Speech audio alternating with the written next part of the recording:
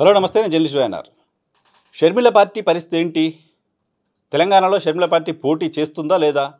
కాంగ్రెస్ పార్టీలో విలీనం పైన క్లారిటీ వచ్చేసింది. కాంగ్రెస్ పార్టీలో విలీనం లేదు అనే విషయాన్ని నిర్ధారించారు షర్మిల.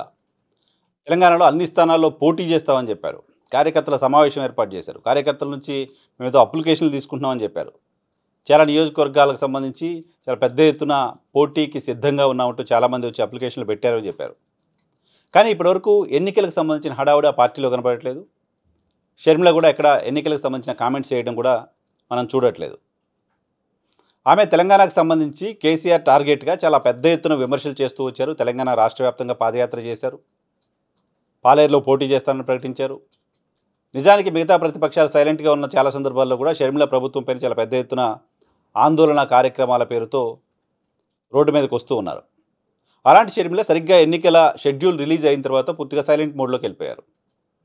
ఎన్నికల షెడ్యూల్ రావడానికి ఒక నెల రెండేళ్ళ ముందు కాంగ్రెస్ పార్టీలో విలీనం కాంగ్రెస్ పార్టీలో ఇక్కడి నుంచి పోటీ చేస్తారు అక్కడి నుంచి పోటీ చేస్తారు రాజ్యసభ ఏపీకి వెళ్తారు ఇటువంటి రకరకాల చర్చలు జరుగుతూ వచ్చాయి.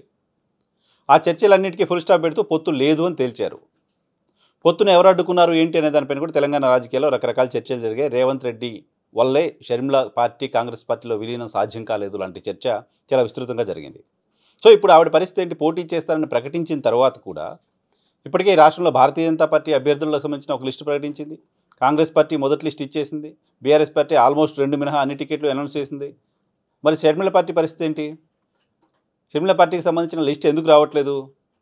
అసలు పోటీకి సంబంధించి తెలంగాణలో కాంగ్ బీఆర్ఎస్ పార్టీని ఓడించేస్తాం. కేసీఆర్ని ఇంటికి పంపించడానికి ప్రజలు సిద్ధంగా ఉన్నారని చెప్తూ వచ్చిన షర్మిల పార్టీ అభ్యర్థుల లిస్టు ప్రకటన కూడా ఎందుకు ఆలస్యం చేస్తున్నారు? అనేది ఓ చర్చ. అదే సమయంలో లిస్టు అప్లికేషన్ వచ్చినాయని వడపోస్తున్నాం.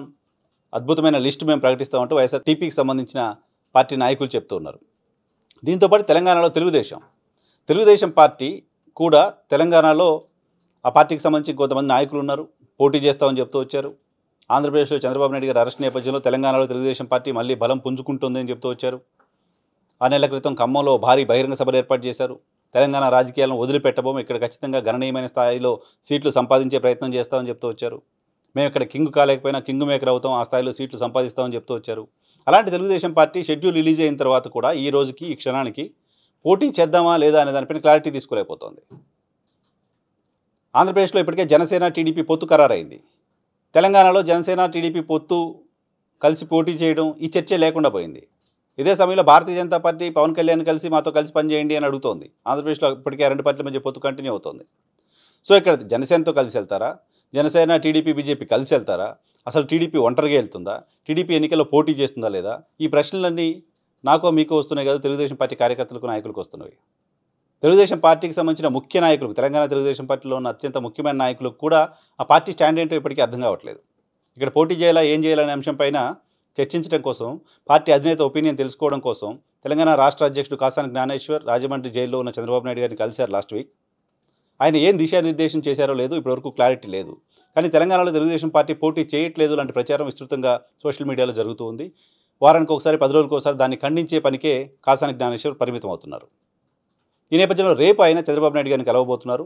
రేపు కలిసిన తర్వాత పోటీ పైన క్లారిటీ వస్తుందండి. ఒక పక్క మేము పోటీ చేస్తాం ఖచ్చితంగా చెప్తున్నారు. సోషల్ మీడియాలో వస్తున్న విమర్శలు కౌంటర్ చేస్తూ.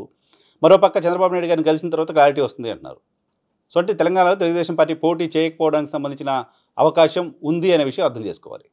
సో చిన్న పార్టీలుగా ముద్రపడ్డ షర్మిల పార్టీ కావచ్చు జనసేన పార్టీ కావచ్చు తెలుగుదేశం పార్టీ కావచ్చు ఎందుకు పోటీ పైన క్లారిటీకి రాలేకపోతున్నారు?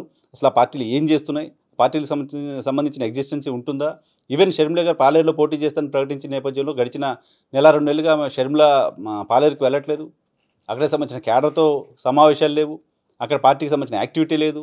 పాలేరులో ఏ రకంగా పోటీ చేస్తారు పైగా పాలేరులో ఇప్పుడు కాంగ్రెస్ పార్టీ నుంచి పొంగులేటి శ్రీనివాసరెడ్డి అక్కడ పోటీ చేయబోతున్నారు. Ponguleti Srinivasa Reddy very close to YSR family అని చెప్తూ ఉంటారు. ఈ నేపథ్యంలో షర్మిల పోటీ చేయకుండా ఆయన ఏమైనా కన్విన్స్ చేస్తారా? షర్మిల రేవంత్ రెడ్డి పైన పోటీ చేస్తారు లాంటి ప్రచారం జరుగుతుంది. వీటన్నిటికీ క్లారిటీ రావాలంటే నామినేషన్లు గడువు అయిపోయేదాకా వెయిట్ చేయాలి. లేకపోతే వాళ్ళు ఏదైనా ప్రకటన చేయాలి. చూద్దాం. Thank you